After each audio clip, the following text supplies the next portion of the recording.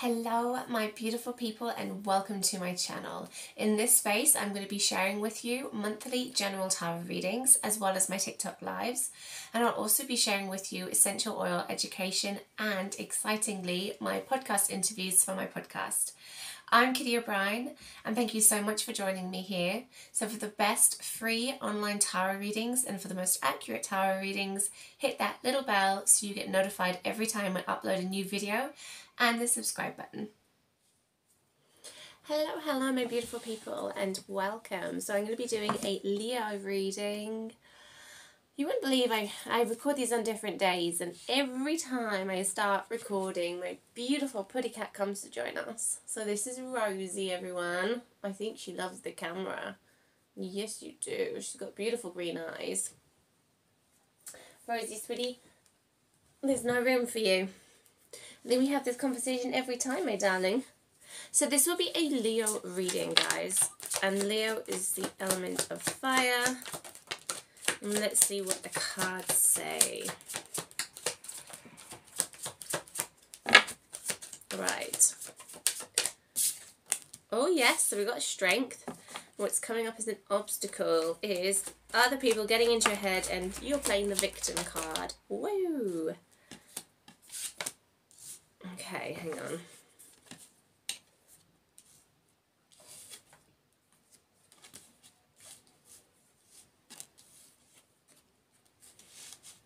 Right. I can see you're having some sleepless nights as well.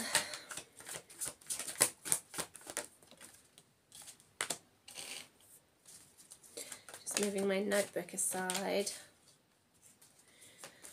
Right, I might move that camera down just a smudging. Right, so we've got quite a lot of stuff coming up. Quite a lot of stuff coming up. Whoopsie. I feel like you're waiting for something to happen. You've laid some seeds, you're waiting for something to happen. You're not quite seeing your salvation yet. But you definitely will in the future. Oh my goodness. You can see you're a very hard worker. Very hard worker. Right, so the first card we got was strength, okay? So strength really represents learning where to pop your energy, where wearing learning where to channel your energy. Um, it's all about yes, it's about taming that lion, but what does that really mean? So Leo is is a lot of um well it's the line isn't it? And you can see she's got the infinity symbol over her head as well. So it's how can I describe this? Right so you need to learn right now where to put your energy because I feel like you're putting all your eggs into one basket. But what you should be doing is you should be looking at the situation and you should be analysing and you should be going, right, I'm going to put a little bit over here, smudging over here and just a tad over here. But I'm actually not going to invest anything in here yet because I need to wait to see what happens. And you've got that actually. You've got the Seven of Pentacles is all about waiting, waiting to see how things unfold. So that really links in with strength, which is they're just opposite each other on the board. Okay, so what you really need to learn is to follow that gut feeling, following that instinct. It's not so much about taming the lion, taming the instinct. Um, it's about listening to it and following it. Um, like, what is that lion saying to you? Oh, and, and don't just like go at things like, you know, like I feel like saying don't just put everything forward and just throw yourself at something. You've got to yes, so there's that taming involved where you do step back and you you look at things as well. But it's about having courage as well. Courage not to act immediately. Courage to just to just hold yourself. Um, and that's really difficult when you've got people, because it's come up as an obstacle, the Eight of Swords, really coming at you from all angles, getting inside your head, making you doubt yourself, um, She's in a ring of swords, but there is a way she can get out. So this card represents a couple of different things depending what deck you have. And actually, I've put my Witch's Tarot is on my bookshelf still. But this is really about um, not letting people get into your head, not letting people doubt you or making you doubt yourself and and really just feeling that gut feeling listening to that instinct and and knowing yourself and trusting in yourself. But it also means stop playing the victim as well depending what tarot deck you're using. So sometimes it's really easy to play the victim. Sometimes it's really easy to go well i got it worse off. And god i know so many people who do that. It's like yeah but my situation's worse than yours and it's it's actually no no no situation is worse than somebody else's. It's all relative to that person. Um, and there's loads of examples i can think of right now. So it's it's just um life is not happening to you life is happening for you. So you really need to change that mindset. And if you want to do something do it you know you're the one living this life. You're the one you're the one walking this path. So really just tap into what you want and what you want to do and have the courage to say no to people as well. Like i'm going to do what i want to do because i feel this is right for me. So i can really see that you're having a lot of sleepless nights at the moment with the nine nine of swords. But you can again get yourself out of this situation. So the story of this card is can you climb up the ladder of swords without cutting your feet? And the answer is yes. Like there's always another way out. Um and they've like they again okay so she's blindfolded herself. All she has to do is take the blindfold off. And he's all he has to do is take the hands off of his eyes and then he can see the situation differently. So this card is very much about despair and anxiety. It can mean depression as well sleepless nights racing thoughts. It's all about the mind. Swords is all about the mind. It's all about the subconscious mind. It's about the conscious mind. It's about the paradigm. It's all that stuff. Um and you can get yourself out of this situation. You just have the courage to do it. Well, you just need the courage to do it. Um, and sometimes just waiting and being patient and trusting ourselves is all we need for the situation to sort of resolve itself and unfold. So this card is your desires card. So you really want to sort of sort yourself out emotionally and get your mind sorted as well. Now you're thinking about traveling, oh, sorry, you may be traveling as well. The Three of Wands um, represents travel. The Three of Wands also represents the element fire, which is uh, Leo. So I got a scratchy nose there. So it's really, um, you can see standing here, there's the harbour, the ships are coming in and out. So you're really thinking about movement, moving forward. Um, and Wands does represent careers as well. So this could represent a career change. Um, when we think travel, we you know it's not just traveling abroad, but you might have a different job to commute to. So there's but there's definitely travel coming up, and it could be, and typically it does mean traveling abroad. So this is sort of anchoring the reading. So this could very well be a possibility in the future. And actually, before I continue, I'm just going to get some plant magic going here.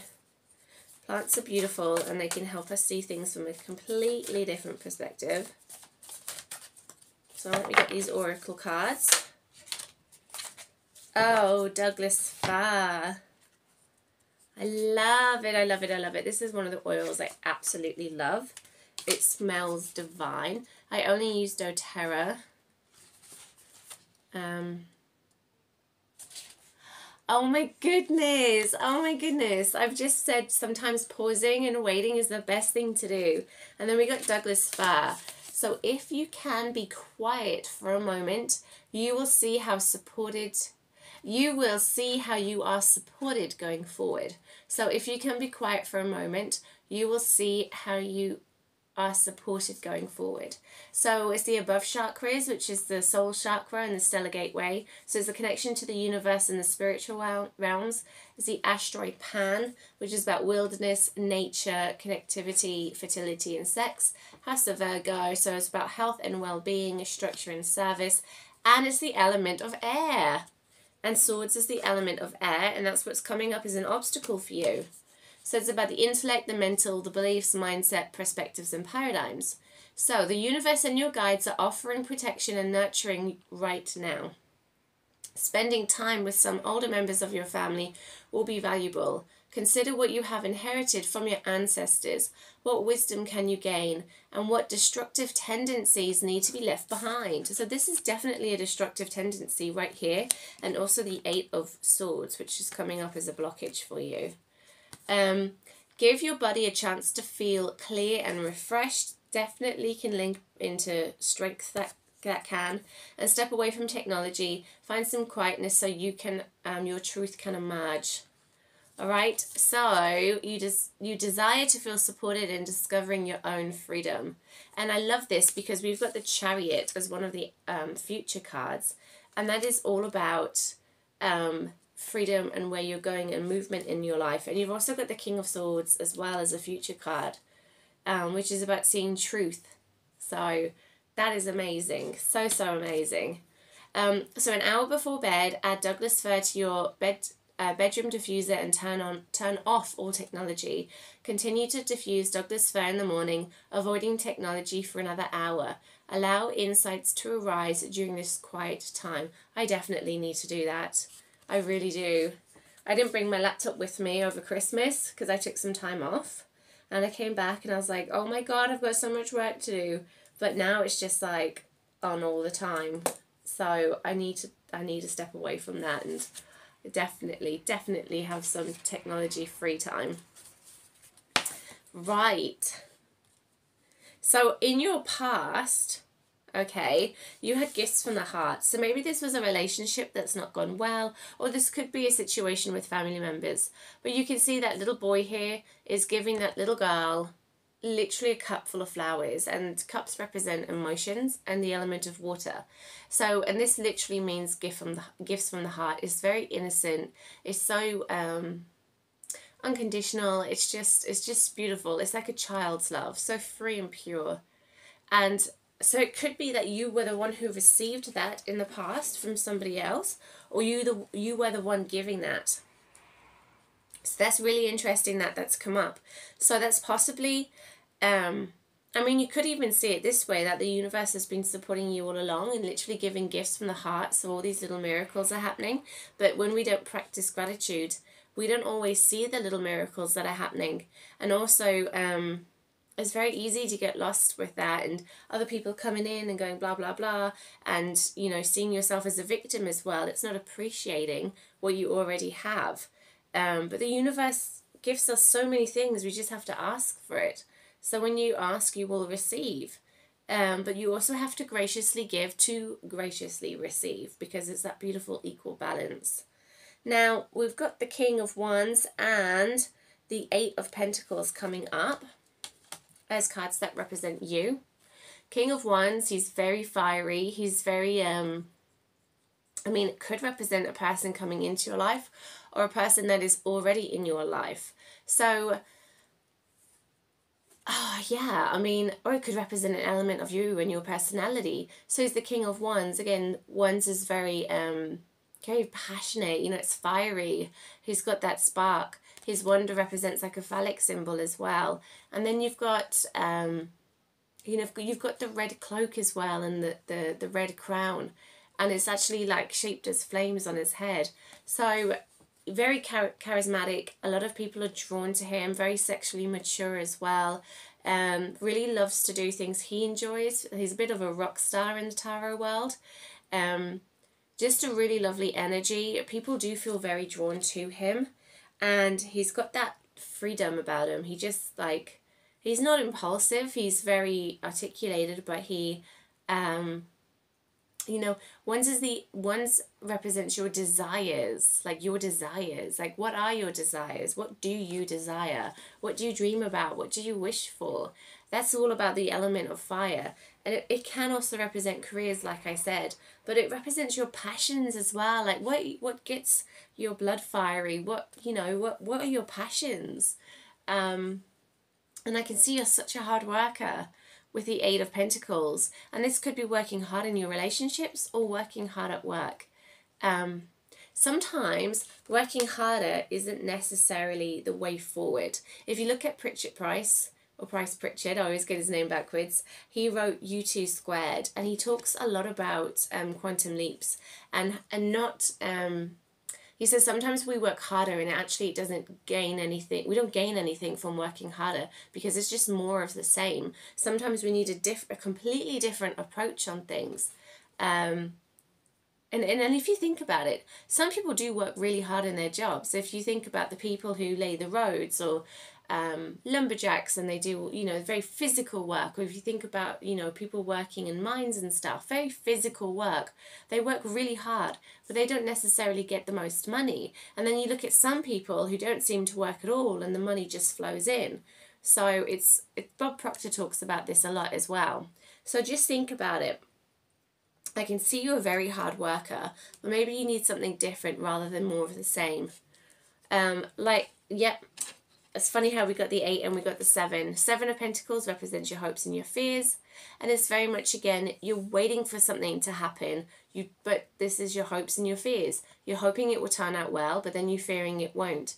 Um, see it happening the way you want it to happen. Don't think, don't play the worst case scenario game. Imagine it happening the way, exactly the way you want it to happen, and then that way we activate the law of attraction, which is working all the time. We're just making it work for us. So we're not working harder. We are just literally using the natural laws of the universe to get what we want. Um, so imagine if it's an object that you already have it. If it's a relationship, imagine it imagine it being better. So how whatever the situation is, just imagine the best possible outcome for you, the most harmonious and loving one as well. And then that will that's what you attract in. Now, we've got quite a few outcome cards. We've got three to support our future card. So, what do we have? We've got a Knight of Pentacles very slow moving energy. He's he's actually the only um he's actually not moving at all. He's the slowest knight of the deck. He's literally just standing there. And he's holding his coin and he's he's debating, he's thinking, does he plant his seeds in the fields that are ploughed behind him, or does he move forward to somewhere else and start again? And it's interesting, you know, he's contemplating that because we've got the three of wands and that's about moving forward. Now, so you better think. You need to you need to think what's what's best for you. Do you just wait to see how things unfold, and then move forward? Um, if you know about human design, you'll know that some people they need to you know they need to wait for an invitation before they can act on something. Um, so just like human design's a whole nother thing actually and I, I am going to do some readings with human design and essential oils but that is yeah a whole nother ball, ball game. But sometimes it's in our nature to to, to wait and and then see how things go until we got that invitation to move forward. Then we've got the five of pentacles okay? Five of pentacles you you're not quite seeing your salvation. So there's um a cathedral there it's offering warmth, it's offering food, shelter, everything these two people need who are stuck out in a, a snowstorm and one of them is injured. But they're not looking at it, they're almost ignoring it. They just won't turn their head to see the help that's available. Now, remember what um, Douglas Fir said? It says, the universe and your guides are offering protection and nurturing right now. Spend time yeah, with older generation, hang on. Um, give your body a chance to feel clear and refreshed, refreshed. And it said, um, so actually, yes, it's up here. If you can be quiet for a moment, you will see how you are supported going forward. So maybe the fact that you're not being still and you're trying to force things when you have, should be waiting for divine timing maybe that's your the thing you're not seeing okay so sometimes we really just have to wait to see how things unfold and everything happens in divine timing and we need to accept that as well okay and accept that our, the universe and our guides are offering us protection right now and they're helping and they're guiding us but we do need to sometimes just wait and then once we do that, we really start understanding the chariot. And the chariot is all about that your life will go where you want it to go. But we also need balance. So we've got the two pillars on each side, we've got the celestial canopy, we've also got the two sphinxes, black and white. So divine masculine and divine female. Um, the white one is the divine feminine, not female, sorry, and the black one's the divine masculine, okay? So there's that beautiful balance of the two energies. There's the, the um, pillars on each side, and the celestial canopy represents the universe and your guides. Now, if you want your life to go in a particular direction, it will if you put the energy there. You can't just go, I want that, and then not do anything. And not, you know, there's no action. Uh, or there's sometimes we have to wait before we, we take that next move. So where you put the energy, that's where your life will start moving forward and that's where it will go. But we really need to practice gratitude and the law of attraction to help it move along in the direction we want it to. And then we've got the King of Swords. You can see the butterflies on his throne. So quite masculine energies here. I sort of expected with a Leo because we've got two kings. Um, butterflies represent transformation and enlightenment and the sword pointing upwards represents truth and clarity. So we really start seeing the situation for what it is. We get ourselves out of this sticky situation and we stop playing the victim game and we stop letting people get into our heads. Okay, and that's when we really start moving forward. And that's when life just becomes so much easier for us. And everything just, oh, it just, um, everything just flows better so what I'm going to do now is I'm going to read, we'll get some healing on it from the um, my other oracle cards and then I'm going to be doing the extended re extended reading on this. So if you want to watch that, it will be on the membership site. I've got loads of different decks down here and I will be using this one, which I can't use on YouTube because I'm not allowed to. But it is going to be about how to heal some of our traumas. I'm going to be talking about mindset as well, mindset and miracles. And um, there's lots of other things um, on the membership site that I'm currently building. Oh, the pink dolphin. Celebration, fun, unbridled joy, and open heart. And this pass was the open heart, gifts from the heart. So let's have a little look.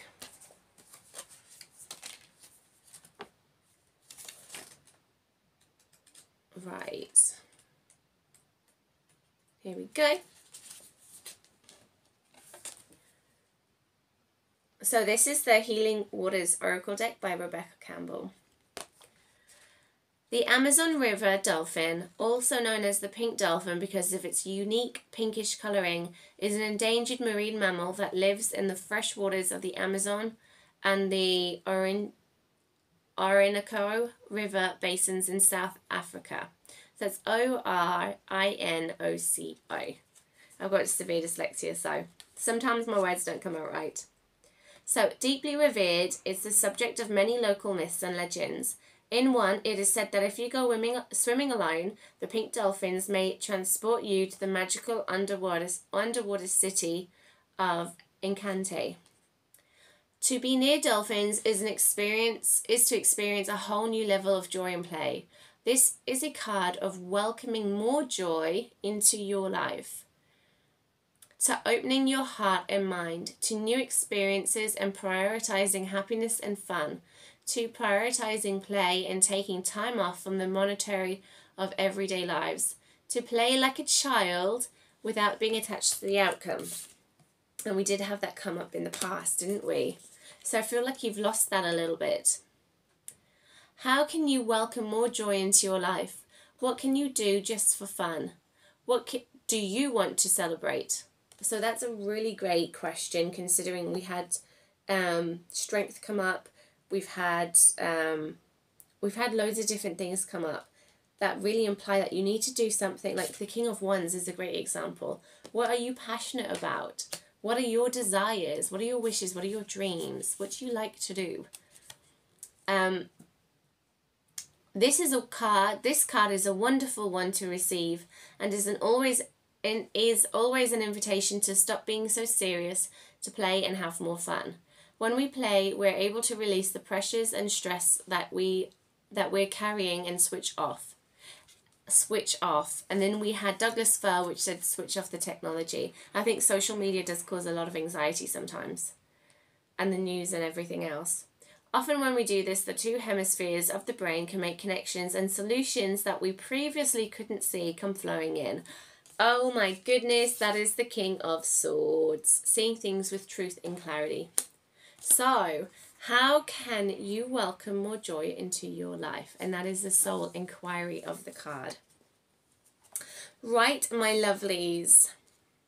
I hope you enjoyed that. And if you'd like to watch the extended version, please go to the link below. Thank you, my lovelies. Hi guys, this is